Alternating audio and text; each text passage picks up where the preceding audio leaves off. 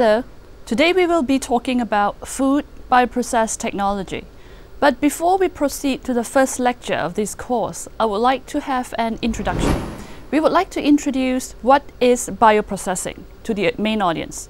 So basically, bioprocessing is the utilization of cells. It can be any different type of cells that I will explain later for the benefit of mankind.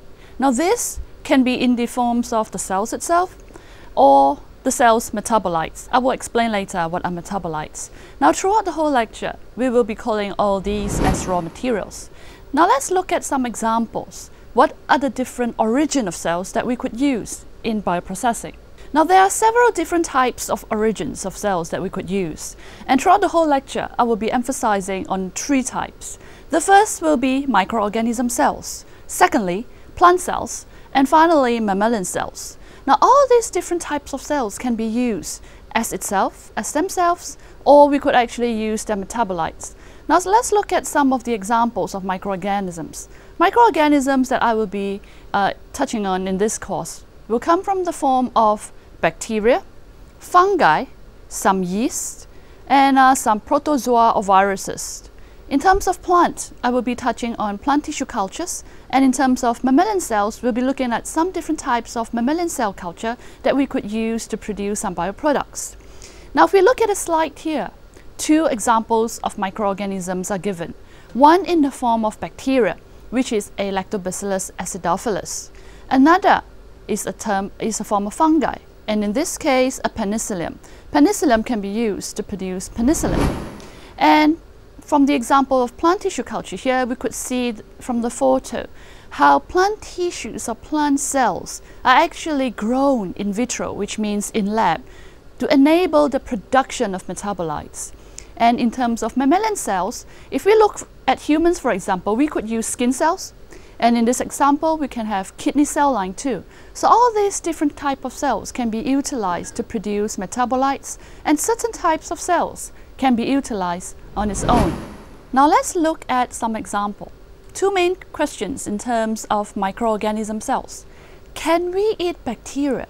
And can we eat fungus? The question to all these is actually very common. We do consume all these on a daily basis. Some of us may not be aware of it, we do consume a lot of bacteria in terms of dairy products, fermented dairy products. And in this case, I would like to give an example of Yakult. Yakult is a very popular drink, popular in Asia, popular also now in uh, Western countries. So what are we looking at? Yakult is basically milk, but fermented by a strain of bacteria. And in Yakult's example, it's Lactobacillus casei. So Yakult has been very well documented, very well presented, that it can actually enhance the health of human being, of mankind. Upon consumption, the Yakult bacteria will actually reach our intestines. And in the lower intestines, it is very much well documented to fight bacteria. So the bacteria in Yakult is actually a good bacteria. So to answer the question that I've previously shown, yes, we can eat bacteria. And in this term, the bacteria actually enhances human health. Various health benefits have been associated with Yakult's bacteria. Reduction of allergy, diarrhea, lactose intolerance, antibiotic-associated diarrhea, and so on. And another example from the question, can we eat fungus? Yes, we can eat fungus. One of the traditional food that is very popular in Malaysia and Indonesia is what we call tempeh. Tempeh is basically fermented soybeans. Now, if we look at a photo, it looks very different from the soybean that we know. The reason being is because soybean has been fermented or utilized by this fungus, and in this case is a rhizopus. So rhizopus have actually utilized soybean as its food, and in turn, rhizopus grow on the soybean. And upon growing on soybean, you can see that the structure of soybean have changed. And not just that, the taste, the aroma, and a lot of its organoleptic properties have also been changed. And this is the beauty of fermented foods. We actually like the fermented aroma, fermented flavor, or fermented organoleptic properties. And if we were to zoom in into the white cotton structure of tempeh, it is actually cells of the fungus rhizopus. And if you can see from the enlarged structure, we can see its enlarged cotton-like structure. Now, That was the example of us actually consuming, eating bacteria and fungus. How about we do not eat and we just want to utilize the microorganisms? And in this case, the question will be, can we utilize bacteria without eating? The answer is yes. One good example is the production of bioplastics. Now, the production of bioplastics involve a lot of uh, compounds, bi biopolymers. And uh, in terms of what are bioplastics? Bioplastics are actually biodegradable plastics that we do not have to worry about it being non-destructible. Uh, it will remain as it is in landfills. It will be degraded by landfill or soil microorganism and then we don't have to worry about the problem pollution. So that's the idea of bioplastics. But what are bioplastics? Bioplastics are basically biopolymers, and one of the main compounds is PHA. There are other several main compounds. So we're just looking at this main compound of PHA. Now PHA can also be produced by bacteria. Bacteria actually produce PHA as a storage compound, an energy compound. I will show you a simple graphic, cartoon graphic of this, uh, taken courtesy of Professor Sudesh from Biology School of Universiti Sains Malaysia. So this cartoon basically shows that the bacteria eats something and it produces PHA. And in this instance, the bacteria eats oil. It just simply likes hydrocarbons. And this oil that was being researched are actually palm-based. So these bacteria consume, or what we call utilize the oil. And inside, it produces PHA as its energy and storage compound. Now let's look at the PHA that was produced, the bottom picture. It actually looks like a piece of thin plastic. And if we produce large amounts, we produce it in larger size sufficient to be formed into a plastic, we can actually use it as a plastic bag. Now let's look at the example of the bacteria that was actually consuming oil. Now this is a series of photos. Throughout time, we have 12 hours, 24 hours, and 48 hours. If we look at the cells itself and look at the accumulation of PHA inside the cells, we could, say, we could actually see that the cells are growing, the PHA or the storage compound is also expanding, comparing between 12 hours until 48 hours. Now for 48 hours, we can see that almost 90% of the cell is all covered by PHA. So this bacteria, we can actually utilize this bacteria to produce PHA for us, and we can harvest this PHA for the utilization of bioplastics. And another example would be if we don't eat the cells, we do not utilize whatever that is inside the cells. We could also utilize whatever that the cells produce. Now what the cells produce are what we deem as metabolites. So what are metabolites? Metabolites are actually intermediates or products of metabolism. Now to put it in a very simple picture, all of us in human in, in terms of human, mankind, we have to eat something. And in this case, after we have consumed something, it would be used for growth, natural process. And uh, we would actually have to dispose of whatever food that we consume as well. Same terms in, in the forms of microorganisms.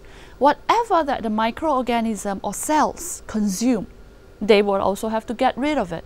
But they would get rid of it via different byproducts, and we call these metabolites. If we look at this example, now there is this cell structure. The substrate, what we deem as A, will be the food for the cells. So the substrate will actually enter the cells, would be used for the cells for energy production, for maybe cell replication. But other than that, all these substrates will also have to go through the entire metabolism process. And at the end, it would be excreted out of the cells, basically disposed out of the cells in terms of metabolites. Now there are various types of metabolites that can be used. Now I would touch on just a few examples. As we can see from the list, the metabolites can include various types of products.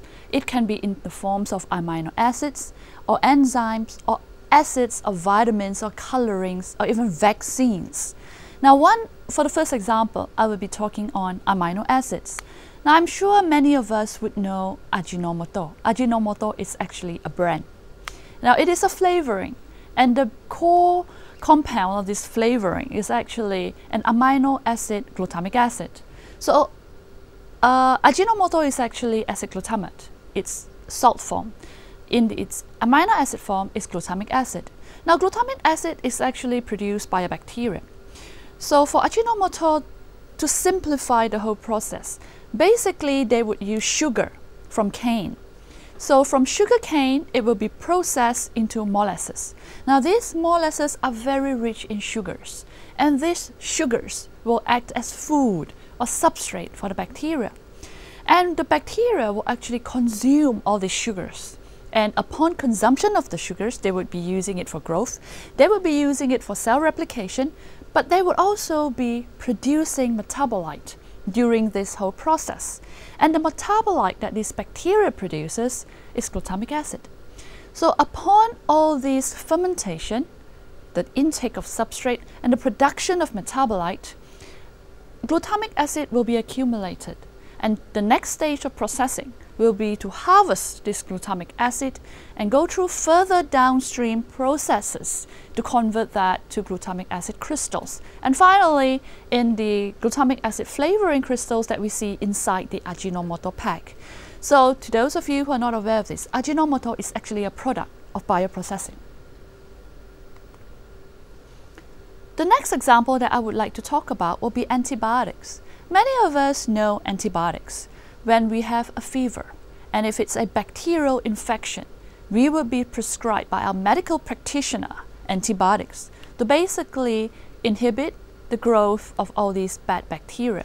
But a word of caution, antibiotic may not be selective. It would inhibit or kill mostly all bacteria that it can come in contact with. Now, but one example that I would like to talk about is penicillin. Penicillin is a very well outdated antibiotics.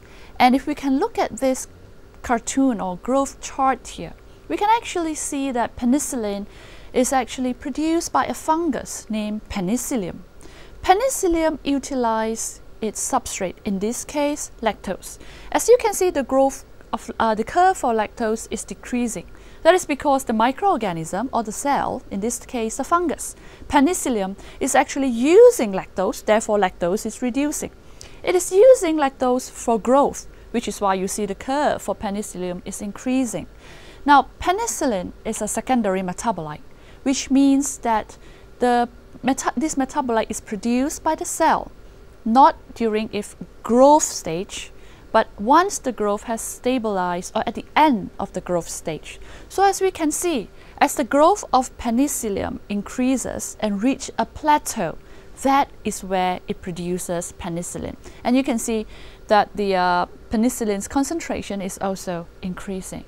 So for those of you who are not aware of this again, penicillin, even though an antibiotic and in many instances have been associated to medicinal uses, is actually a product of bioprocessing. The third example that I would like to touch on is enzyme. Now there has been a huge hype of enzymes. We have seen a lot of people producing enzymes from domesticated waste, from vegetables, fruit waste, and then um, they put in some sugar, go through fermentation, and a lot of enzymes are produced. And these enzymes have been used to clean, basically act as shampoo, cleaning drains, and so on. But prior to all this, scientifically, I think there is a need for all these enzymes to be identified and characterized. So basically, what are enzymes? Enzymes are actually biocatalysts. Now, if we look at the curve that we show bottom right, if we look at the energy needed for a reaction to occur, very high energy is needed for a reaction to occur. Now, if we add enzyme or catalyst inside, we can see that the energy curve has been reduced, meaning that now we need lesser energy for the reaction to occur. So enzyme is actually a catalyst to speed up a process by reducing its energy requirement. Enzyme on its own will not be exhausted unless it is degraded.